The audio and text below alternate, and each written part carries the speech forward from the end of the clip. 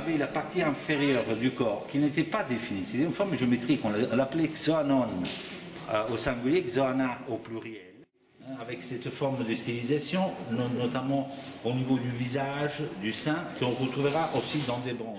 On a des barques qu'on a retrouvées dans des tombes. C'était euh, visiblement des lampes, en réalité, hein, avec des têtes de cerf, de bouquetin, de cerf, hein, la canne de commandement, la dague, Hein, et toujours au niveau de la poitrine. Vous voyez le visage fier, vous voyez le, même nez stylisé tout à l'heure de la, de la déesse euh, des Cyclas, Cabadora, et qu'un savaigne était utilisé et qui fait mourir un riant. C'est dans une sorte de fruit, mais c'est une herbe toxique. Ici, les yeux. Les yeux, hein? Là, probablement aussi le ventre ou le sexe, l'autre la tête. Mhm. Donc, en fonction du mal, même s'ils ne sont pas, ne traduisent pas, euh, disons, n'ont pas de soucis anatomiques, mais sont tellement bien faites, puis au fond, que moi je trouve l'une des, parmi les pièces les plus intéressantes.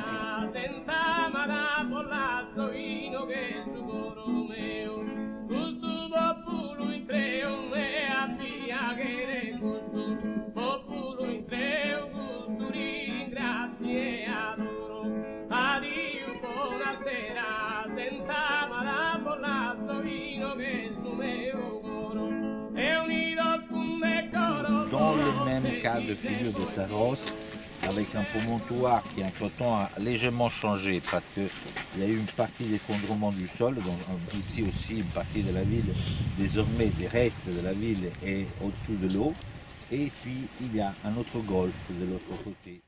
Voyez, gorge égyptienne, probablement avec une protomée, une tête de lion qui servait de gargouille.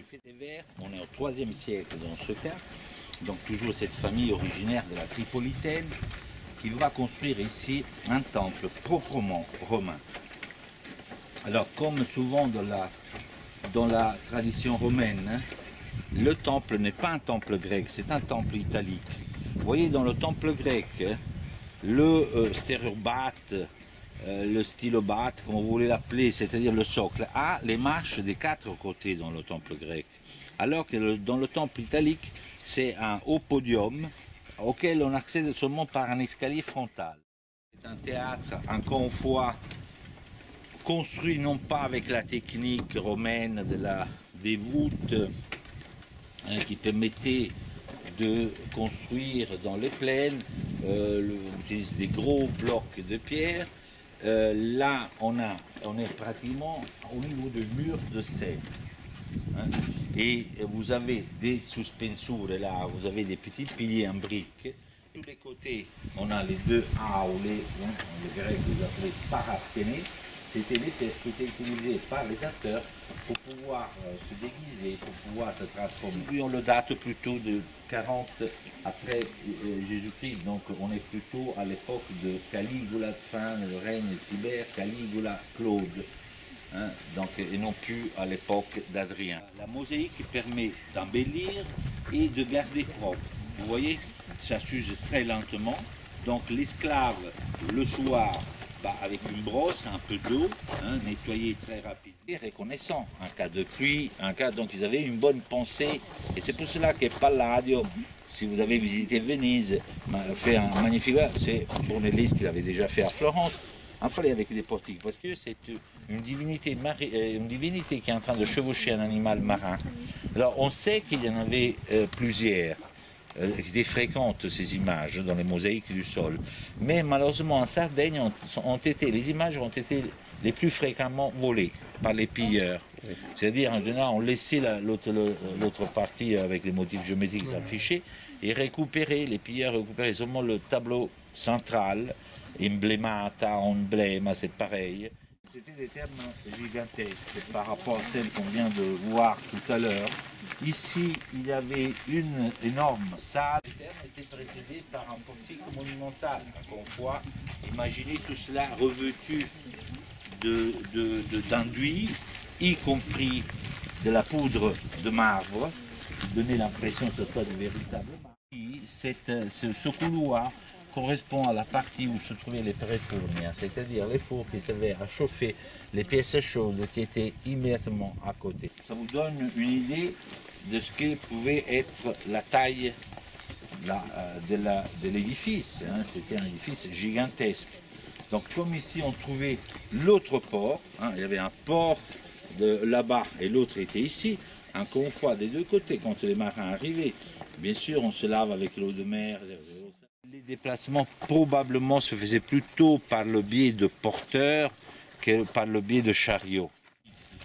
Mais en tout cas, ces habitants avaient accès, il y a cet espace central qui laisse penser qu'il y avait justement une fontaine hein, avec un baldaquin, puis il y avait un portique sur le côté et tout était pavé. Et on est juste derrière les, les thermes. Hein, alors la fonction de cet édifice n'a pas été comprise. Et ici, sur le côté gauche, on a même avancé à un moment donné l'hypothèse que ce soit une tannerie.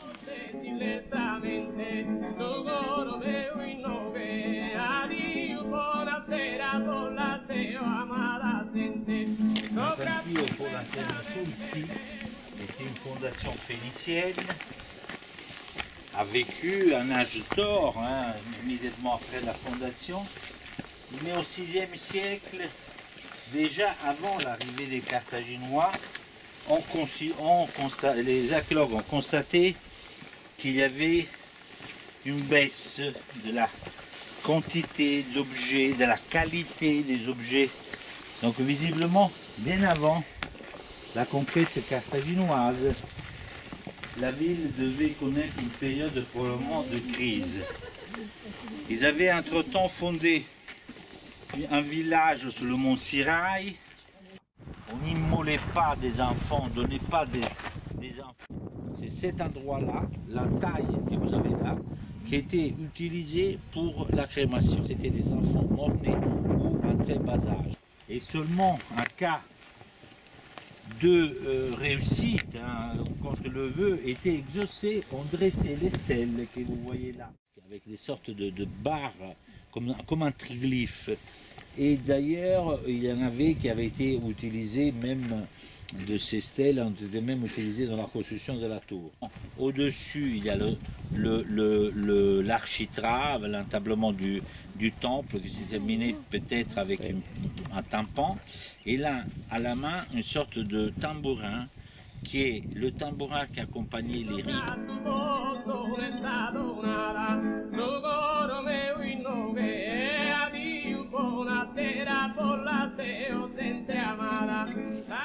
C'est la film Speed récente. Alors plus les temps euh, deviennent, plus, plus on est dans des datations récentes et plus le sarde apparaît. C'est curieux parce que dans les années 1960, ils avaient tendance à écrire en italien. Qui vient de mourir, c'est ce médecin qui a créé euh, Emergence. Emergence. Joy, vous l'avez écrit là, mai 1796. Quelque chose, sauf notre façon de penser. Et 5, là, si on ouvre 3 en espérant que l'adversaire dise 2, lui aussi doit dire un chiffre. Donc si lui dit 4, mais 2 et 3, mais il faut dire, il joue très rapidement. Hein.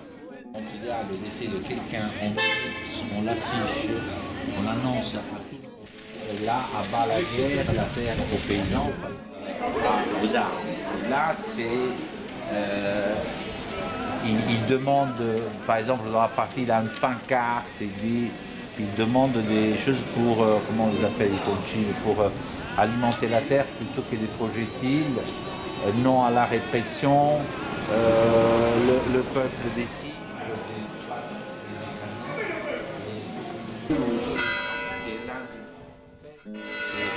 Hein, de 2017 seulement, à une dame Tia Rosa la main.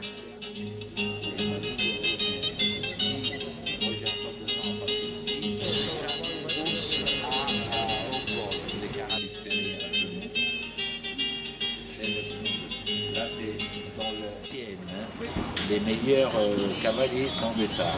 Ah, euh, il y en a un, Hachette, qui a gagné le pas de 17 fois une peinture qui évoque la, guerre entre Israël et les Palestiniens. mal ça.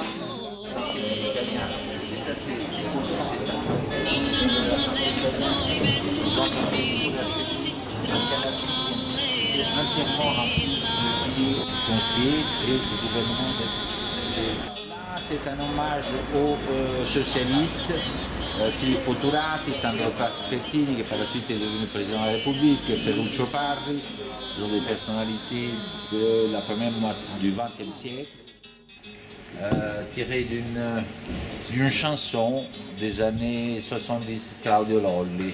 Le jour qu'il est arrivé en ville, tout frais de- de- depuis la Sardaigne pour euh, étudier à l'université, il avait déjà la tête de celui qui euh, enseigne plutôt que de l'étudiant, et avait déjà sa grosse tête,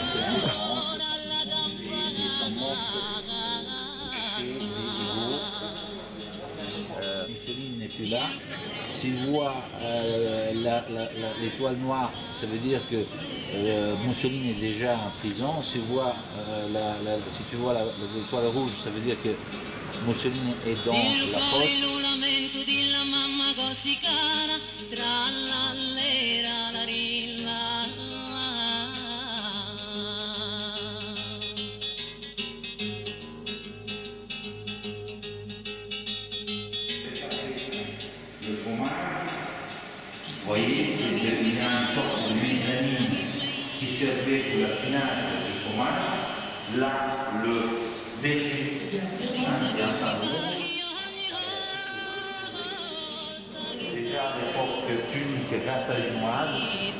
ce genre d'embarcation.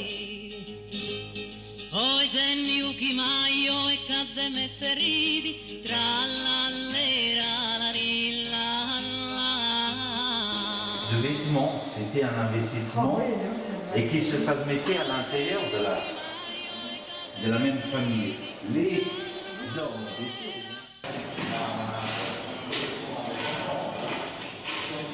au moment où les femmes doivent revenir dans le ventre de la Et les masques sont vraiment magnifiques. Ça, c'est des masques qui ont, on pense presque à, à la tragédie grecque,